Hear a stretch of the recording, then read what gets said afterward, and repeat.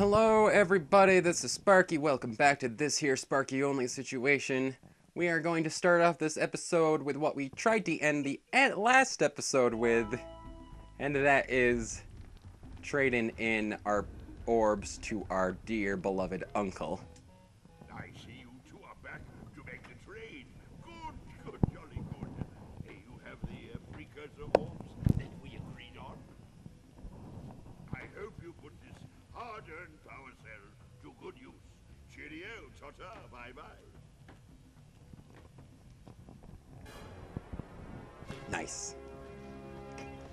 And with that, we're gonna start the episode proper. And hopefully the game won't decide to end it on us again. Honestly, that's the first time I ever encountered Jak and Daxter freezing like that. In recent memory, anyway. The entire last playthrough I ended up doing, it never did anything like that. And I don't really remember it ever doing that beforehand, either. It's really weird. But at least it decided to stop working at an appropriate time. Probably just encountered an issue with loading uh, the area. Jak and Daxter was actually one of the, I think, first full 3D games to do this big overworld without a lot of loading screens or loading time in between. Not visual loading time or anything, there's no traditional loading screens. There are a couple disguised ones when it changes areas. But either way, we're gonna... Where is it? Oh, why isn't it telling us? We're getting the orbs for this area. There it is, the Forbidden Jungle. We got a lot to do here. There's 8 power cells, 7 scout flies of course, and 150 precursor orbs, of which we've already collected 4. Here's the weird thing. The ones on the bridge count towards the Forbidden Jungle, but the ones below the bridge that we got down there last time, those counted towards the village, so I don't really know how that works. But anyway, we've got a lot to do, and we've got to get to it. First by punching snakes. Always satisfying. This is the first actual, like, level area of the game with a lot to get. And we're gonna try to get everything done pretty systematically. Since I have played this game in its entirety not too long ago. Well, even though I've already taken a hit. I do remember it a lot better than I did with the last playthrough. And there is a lot to do. Uh, how do I get up there? Let's just try this. Oh. Not quite. I guess I can just high jump.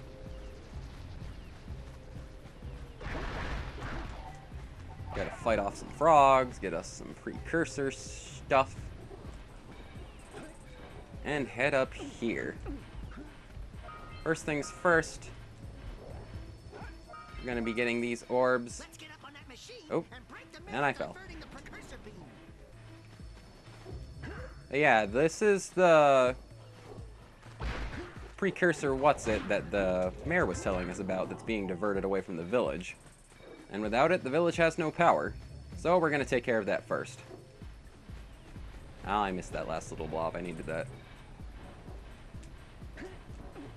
But yeah, uh, the way I tend to play games, I tend to play them a little, uh, what's the word? Haphazardly? Nah, that's not quite it. Uh, I play them like a nut. You just see the crazy stuff I do in Super Mario Sunshine. Maybe we'll get to that game someday. But before we actually redirect the power beam back to the village, we're gonna borrow the blue eco power. And we're gonna use it to open this door and grab us a power cell. Pardon me while I adjust my mic a little. And there we go. Hmm. Should I? I think I'm gonna. Yeah, we're gonna leave this for another time and grab another charge of Blue Eco. because we're to be heading into that complex right right about now.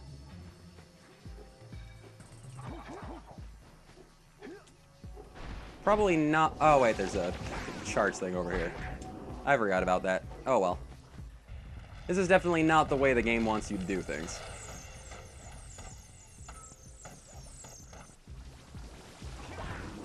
But it is the way that's going to make things go a little faster and easier here. Get those orbs later.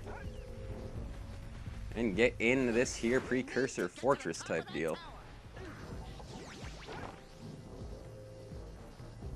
And take a quick jog around here because there's some hidden goodies for us, including a scout fly.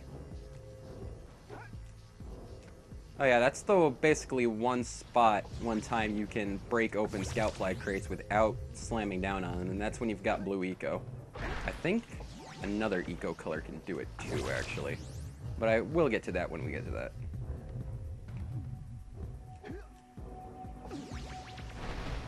And grab that.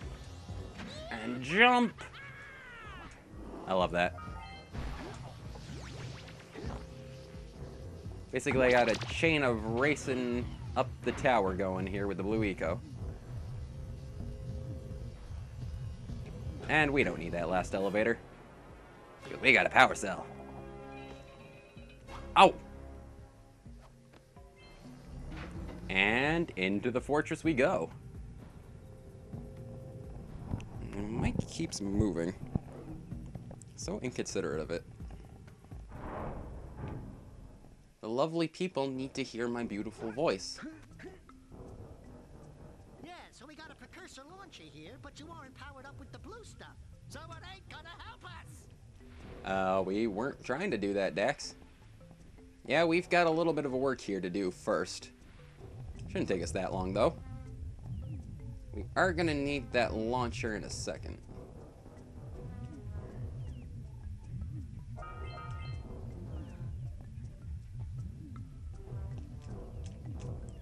Oh, Jak, double jump, please. Thank you. Some... I don't know if it's my controller, but sometimes the jumps stick a little.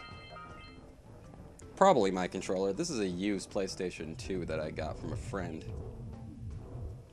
Rather generously, too. All it cost me was buying him lunch for a week. Anyway. Power cell. And we have hit this precursor switch and unplugged those blue eco vents.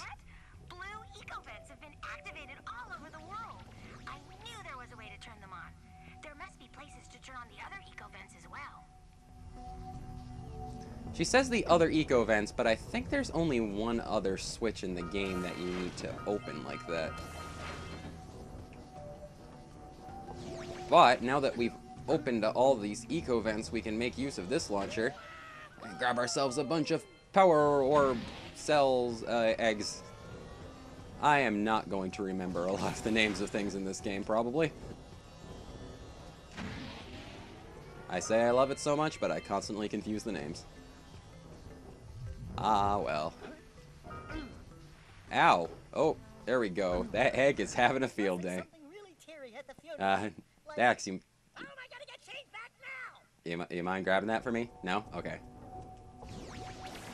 And there's your first game over, ladies and gentlemen. Well, there's really not any game overs in Jak and Daxter. Oh, there I go. There's really not any game overs in Jak and Daxter. There's just respawn. Oh, there I go. oh, boy. Dude, this is my this is on that's honestly my favorite part of doing projects like this is because you get to see the hilarious failure with me. Hey there, giant scary plant monster. You're the source of all those vines around the Forbidden Jungle. And taking care of you will get rid of them pretty easily. Uh, gotta get rid of your uh, little spiny dudes there while they're unspined. And then you give us a convenient platform to punch you, punch you in the face. That's very nice of you. It's hard to come by considerate bad guys these days. I mean, you go and fight Bowser, and he doesn't even let you punch him. You've gotta run under him, you've gotta spin him around, he doesn't let you behind him. You gotta fight him while he's taking a bath? What kind of bad guy that makes you fight him by taking while he's taking a bath? I mean, really. Anyway, three swift punches, and our first little boss fight here is down. And what do you know, he vomits up a power cell for us. But now that we've taken him out, let's see if we can see him from here. Now that we've taken him out, ah, there's none in sight. The vines that were around the forest uh, will now be withered, making progressing through these eh, the jungle above a lot easier. But before you leave this area, we need to take care of something real quick. A very obnoxious part that uh, I forgot about. He's got some orbs in him. Yep. Just gotta get all five of the orbs he's got. Remember when I mentioned the part where it took me 20 minutes to finish getting the collectibles in an area? Yep, this was that. Very, very sneaky. I can't remember of another place like that in the game.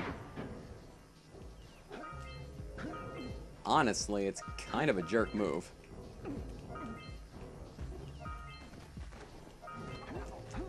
Oh, ah, well, there I go.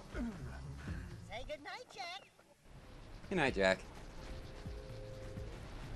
Well, that gives us a good point to pick up again, I guess.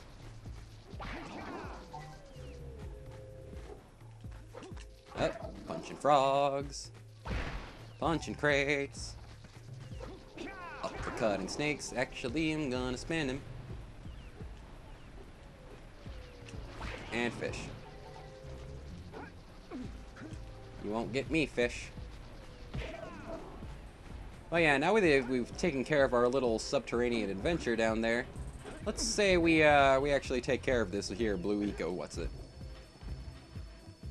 Take that.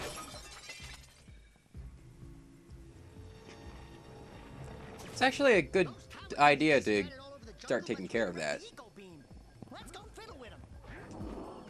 Because now we've got to manually redirect the eco beam around the uh, forest area, which will lead us all over the place and let us collect more stuff.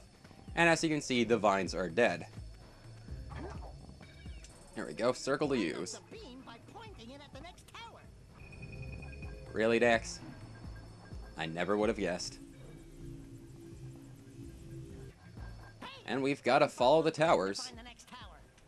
collect stuff along the way. Oh, you. Keeps think I'm seeing a blob of green eco lying around, but it's just the texture on the grass. Can't you see I only have one hit point in grass? Be a little more considerate. Well, that was a bit of a frame rate lag. Or something. I don't know what that was, but probably wasn't good for me. Please don't freeze again, game. I'm doing pretty good right now. I'm making progress. I'm going fast. Oh yeah, that's uh, kind of interesting to note too. The long jump acts as an attack. I can't really think of another game where their long jump actually does that. Uh, I have lost my way. I thought I was supposed to come down here. What? I was wrong. I think I know where to know where to go though. It's this one over here. That's actually the last one you're supposed to get. I didn't know. I don't know why. I thought I had to come down there now.